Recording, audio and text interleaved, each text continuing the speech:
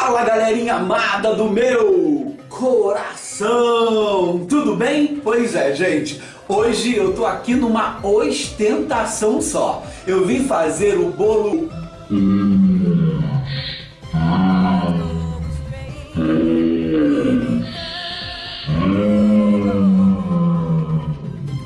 E bota ostentação nisso, hein? Passo a passo, a receita tá aqui embaixo na descrição do vídeo. Se eu fosse fazer tudo no passo a passo, bater a massa do pão de ló, fazer o recheio, cobertura, Poxa vida, gente, não ia dar pra fazer um vídeo pequeno, você sabe, aí tu ia reclamar. Ai, Alexandre, o vídeo ficou muito grande, blá, blá, blá, blá. Então eu resolvi somente mostrar a montagem, mas ó, pera aí. Aqui embaixo, na descrição do vídeo, tem a receita do ganache, no link que nós temos um vídeo aqui no canal, a receita do brigadeiro em um vídeo aqui no canal. Aí vai ficar fácil. E também tem receita do recheio. Olha que bacana. E o pão de ló? Também tem. Tem tudo, gente. Tá tudo no canal. Por isso que eu não fiz o vídeo passo a passo. Mas aí você vai fazer e vai ficar bem legal. Um beijaço no coração. Assiste aí que a receita tá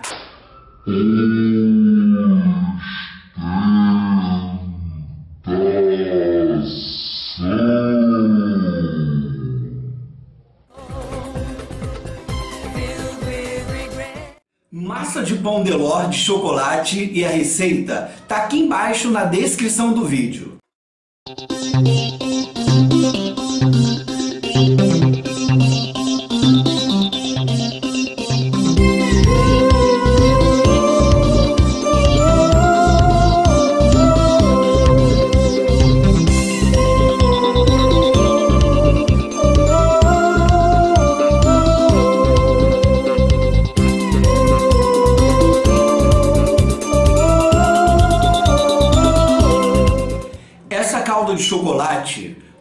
Licor de cacau vai estar aqui embaixo no link que nós temos um vídeo falando sobre caldas, ok? Como o nosso bolo é de chocolate, a massa, a calda também deverá acompanhar o mesmo.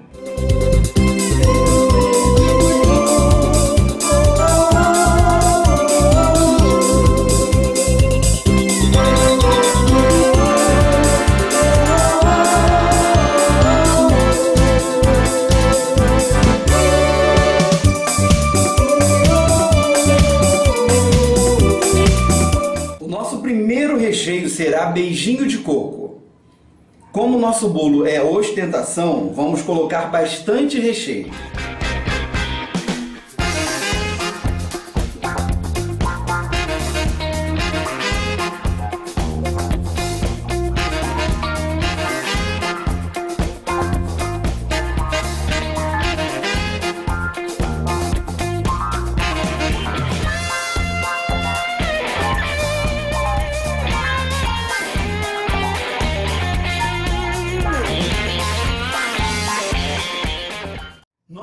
Próximo recheio será de morango, mas porém não tem pedaços de morango. Com pedaços de fruta, o seu bolo fica muito vulnerável, pode azedar com muita facilidade.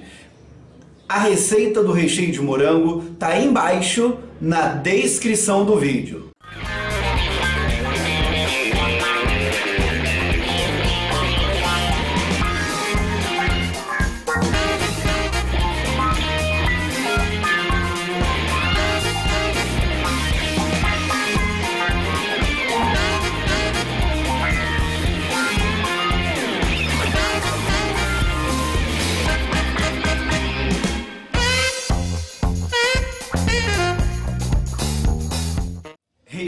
De ganache. A receita do ganache, tudo sobre ganache, também está aqui embaixo na descrição do vídeo. Nós temos um vídeo ensinando tudo sobre ganache. Pontos corretos, como trabalhar com ganache.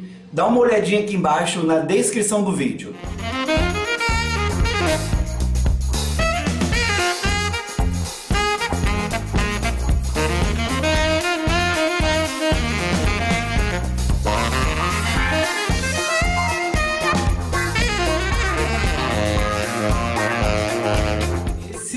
ponto para rechear.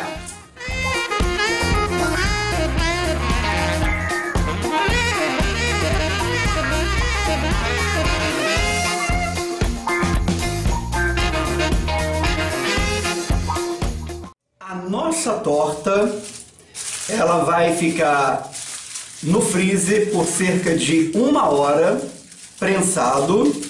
Se você deixar na refrigeração, deixa aí umas duas horas para que fique tudo bem certinho antes de você colocar o ganache e fazer a sua decoração. Aqui tinha 500 ml de calda de chocolate com licor de cacau. Eu não usei a calda toda, eu vou mostrar o tanto que sobrou para vocês, porque não devemos encharcar demais nem o nosso bolo, nem a nossa torta. Porém, também não, deve, não devemos deixar seco demais. Tem que saber dosar. Não existe uma quantidade exata. Isso aí é você que vai determinar. Tá vendo aqui, ó? Eu não utilizei a calda toda. Se sobrar calda, você pode congelar, ok? Pode colocar na sua refrigeração por uma semana ou deixar congelado por meses. Muito bem, pessoal. Eu deixei o nosso, a nossa torta no freezer por uma hora e agora é hora de retirar para passar o ganache e confeitar.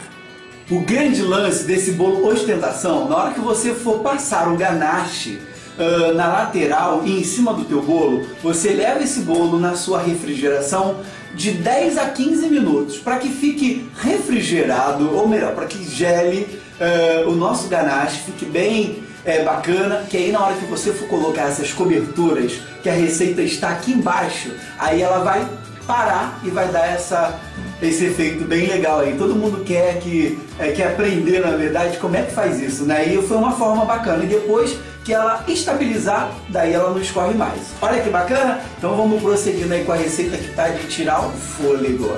Vamos lá então.